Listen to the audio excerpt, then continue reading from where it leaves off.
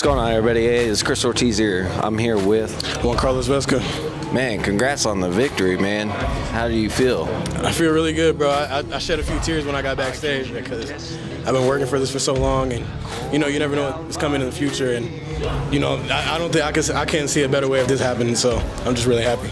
Offering change, surrender offers rest, but I die for peace. What was running through your head after you just like boom? I, in my head, I saw him stunned. I was like, do I hit him again? And then he did a little bit like this, and I was like, oh, that's it. And I just, something lit up. I just felt excited, man. I, you know, I ain't never do too much like that before, so. First knockout on the record, first fight on the record too, so. What is next for you? Next, uh, I plan on moving to Dallas this summer to go continue my education. So I think this might be my one and only in Wichita. Awesome. Well, congrats on the victory, man, and uh, hopefully we get to see you again and it'll be on big screen. Let's hope so. Awesome. I appreciate it, man. Hey, you're welcome. Thank you. Embrace the pain.